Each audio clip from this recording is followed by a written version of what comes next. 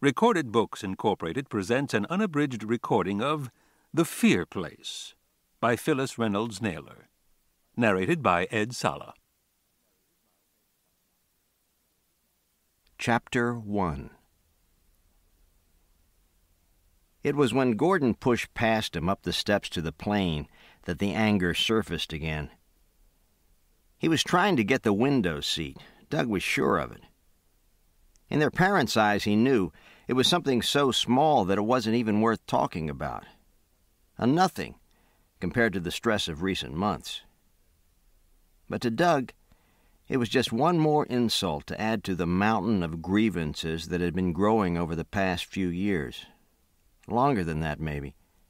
So long he couldn't even remember. Maybe that's how it was with brothers. Gordy, he hissed as they edged by the smiling flight attendant at the top. His brother didn't even turn around. Gordy, Doug hissed again. I get the window seat, Mom said. At row 17, Gordon swung himself in next to the window. Move, Doug insisted. You had it last time. So what? You've had it twice in a row before. I never did. A large bag bumped against his leg as a man tried to get past. Excuse me, the man said. Doug, will you please find one of the other seats? said Mom, coming up behind him. Take 20C. Mom, Gordon's got. Could I get by, please? A heavy-set woman pushed past Mother and glared at Doug. For heaven's sake, Doug, take another seat. Every inch of Mother's face showed strain and exasperation. I don't care who sits where, just sit. Furious, Doug reached over and socked Gordon's arm, then stomped on down the aisle and slid into 20C next to a kid who was playing Game Boy and chewing gum. The boy glanced over. Hi, what's your name? he asked, right off the bat, just like that. Doug didn't feel like talking to anyone, but he did. Doug Grillo, what's yours? Grillo, what kind of name is that? the boy asked. And then, without waiting for an answer, Mine's Ronnie Beck. Yeah? What kind of name is that? Doug retorted. He was steamed. The boy studied him, then shrugged. Don't have a cow, he said. This is going to be the lousiest trip I've ever taken. Doug leaned back in the seat and watched his father put his carry on bag in the overhead compartment. This is what happens when you're late getting to the airport. All the good seats are gone. When the taxi had come that morning, Gordon had to go to the bathroom at the last minute, and then they were two miles from home when Mom realized she'd forgotten the tickets. With Uncle Lloyd so sick up in Boston, though, she'd had a lot on her mind lately. Doug could understand that. They were scattered like plants in the desert. Doug halfway back with this Nintendo nerd. Gordon three rows up on the other side by the window. Mom beside Gordon, and Dad two rows up from them on the aisle. The really weird thing was that Doug didn't even like the window seat. He just wanted a choice. Just wanted things 50 50. It never seemed like that. It was more like Doug 40, Gordon 60, Doug 20, Gordon 80. Why couldn't his parents see that? Why couldn't they understand that it wasn't an argument about window seats or the last piece of chocolate cake or who got the new bike and who got the used one? It was an argument about fairness. It was. I hate to fly, said Ronnie Beck, rubbing the palm of one hand on his jeans. That's why I bring a game, so I won't notice when the plane takes off. Why do you fly then? The kid shrugged again. You do what you have to do. You alone?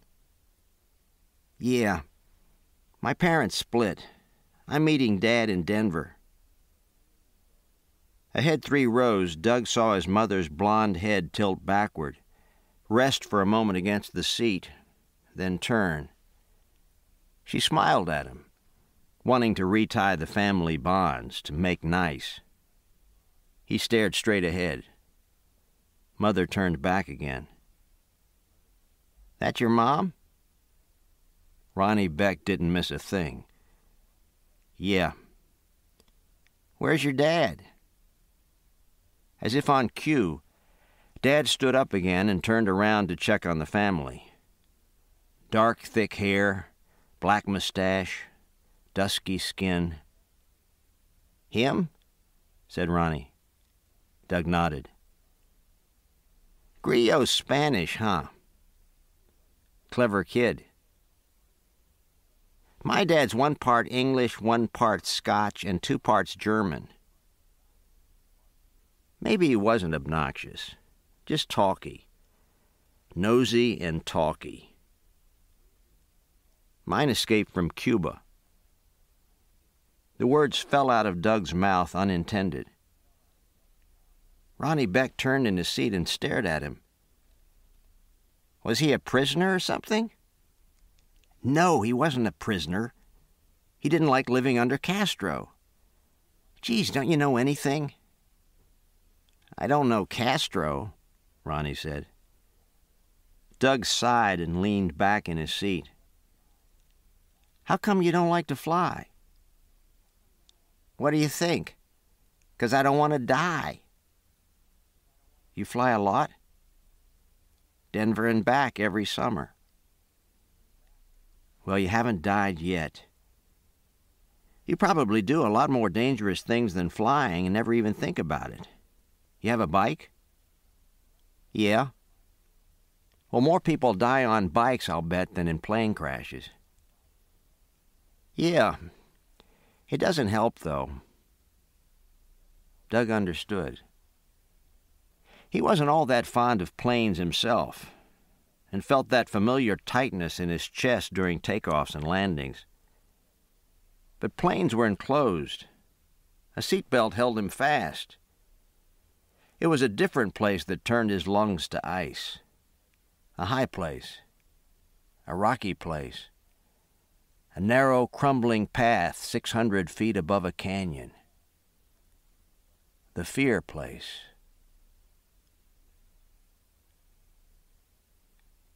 Chapter 2 The sun shining on the wing reflected into Doug's eyes. If he was over by the window, he could close the shade. But the man sitting next to Ronnie Beck was taking pictures. When the man leaned back a little, Doug could see a bed of clouds beyond, as though one could open the window and step right out onto cream puffs. He liked that, not being able to see below. You usually couldn't. Up ahead, Gordon peered over the back of his seat and gave Doug that I won grin, then slid down again.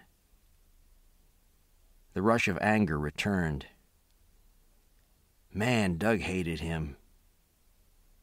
Mom said that hate was too strong a word to use for passing emotions, to save it for the really big things, like what the Nazis did to the Jews. She didn't realize that how Doug felt about his older brother wasn't passing. It was 95% of the time. Well, 85 maybe.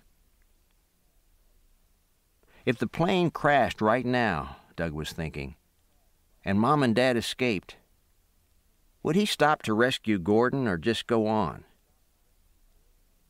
Doug closed his eyes and tried to play it out. He couldn't imagine either saving him or leaving him behind. He leaned forward to put his boarding pass in his hip pocket and realized he was holding his father's. Antonio Grillo, it said on the stub. He wondered who in the family was holding his. Gordon, maybe. He smiled just a little. That would be justice, all right. If Gordon had to be him all the way to Denver. Doug looked more like their mother than Gordon did. Light hair, dark eyes, thin lips rather than the full mouth of Gordon's and Dad's. But he had his dad's physique short and muscular. Strong as an ox, Mother said. Doug was about 20 pounds heavier than Gordon, even though he was younger. It was Gordon who had a lean torso like Mom's. When the boys were on campouts together, Doug could carry a lot more weight than Gordon could. He'd even carried Gordy once in a four man race where you had to run with your partner on your shoulders. The flight attendant was moving down the aisle with a cart. The man by the window lowered his tray table, so Doug and Ronnie lowered theirs. Flip, flip, flip. The flight attendant slung plastic plates on each tray table as though she were dealing cards. Doug figured she flew out of Vegas. I don't want any, he said, glancing down at the rubbery omelet, the dry looking roll, the watery fruit juice, and the orange slice beside a single strawberry. Actually, he wouldn't mind the orange slice and strawberry. The flight attendant gave him a tolerant smile and was about to remove the plate when Ronnie said, I'll eat it.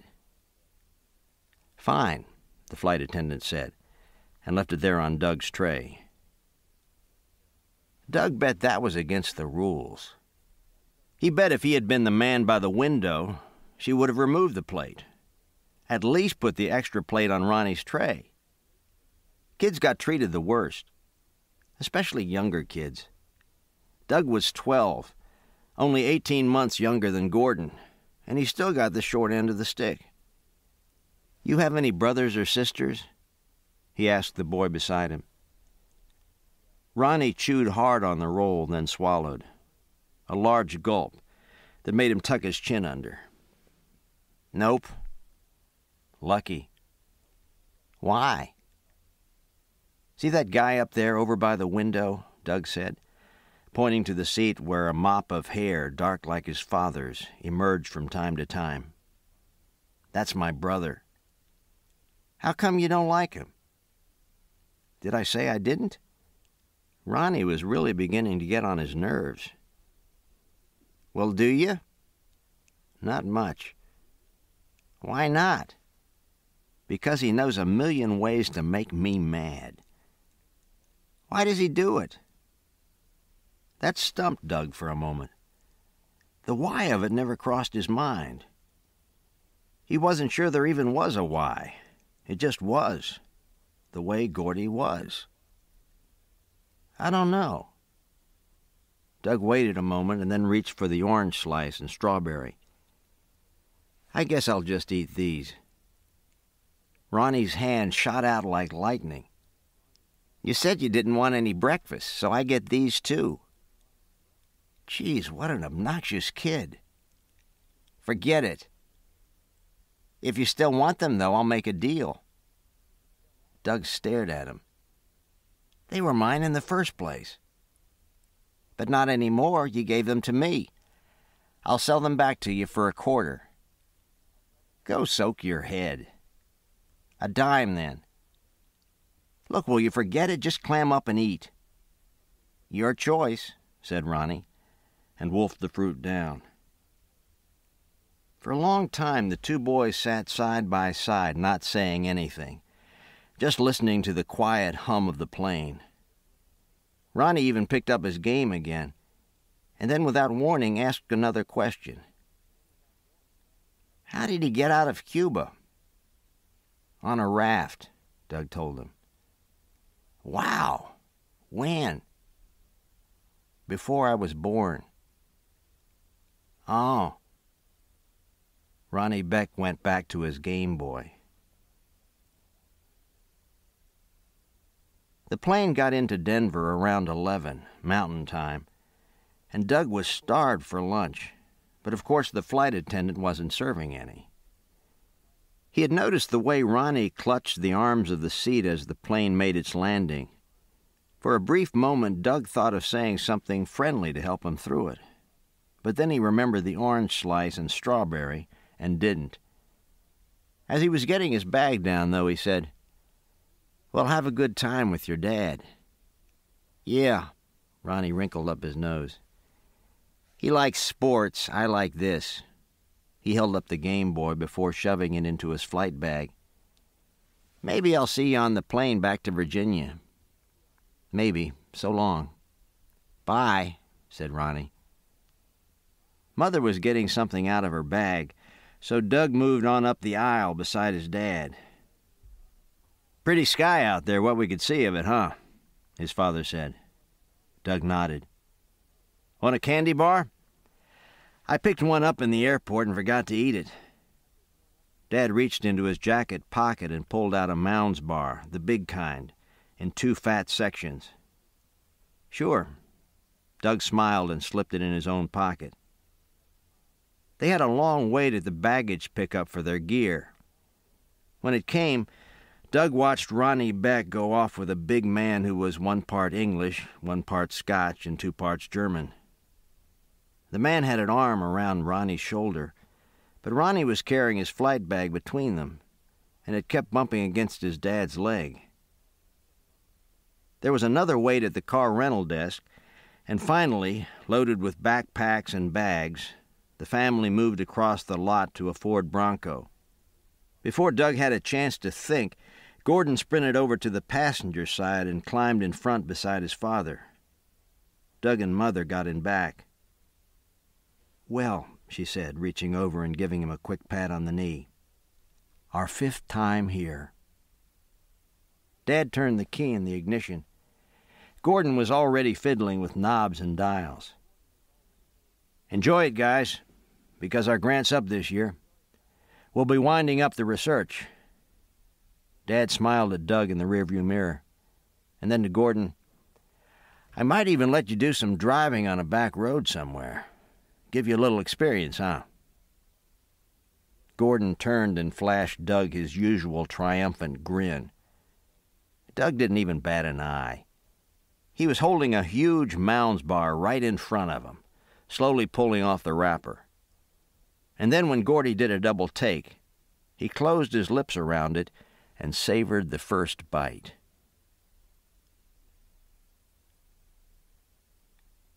Chapter 3 They drove to Estes Park and spent the rest of the day making purchases. Batteries, the powdered and dehydrated foods they'd be eating for the next three weeks, fuel for the stove. The Grillos always stayed at a motel the first night and set out for the trailhead by car the next morning. North Fork Trailhead was in a remote area of the Rocky Mountains, seven miles from Lost Falls where Doug's parents did the research. They camped so far into backcountry that Doug and Gordon usually went the whole three weeks without seeing another human being. Once they were settled in, it wasn't so bad. But Doug disliked the long routine of getting ready. The stop at park headquarters to pick up the research permit, the drive up Devil's Gulch Road to the unpaved road, to the trailhead, and then backpacking their supplies in on foot. There were two tents, a smaller pup tent, sleeping bags, pots and pans, the food, the Coleman stove, their clothes, the scientific equipment, and the empty plastic water jugs attached to each pack that thunked together with every step a person took. They started out on the trail, but later veered off to reach a point above Lost Falls within a day's hike of the lakes, rivers, and streams of that area. In this isolated wilderness, the landmarks for five miles in any direction had names such as Mummy Mountain, Stormy Peaks, Icefield Pass, and Lost Lake Trail. Because the Grillos kept in shape, they usually made the hike in four hours. The first few days were always the hardest.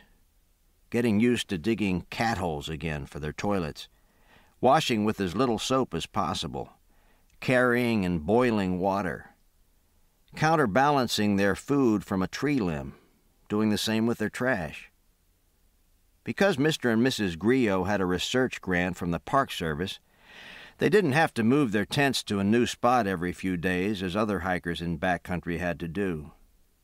Instead, they made camp at a place chosen by the area ranger, far off the trail, and usually on rock, so as to disturb the undergrowth as little as possible in any one place. Leave no trace of your visit to the wilderness, not even footprints, Dad always told them. The rules were time consuming, even tedious. But then when the three weeks were over, Doug was always sorry to go. Glad and sorry at the same time. Last summer, all Gordon did was bug him about going up there, to the place Doug wouldn't talk about.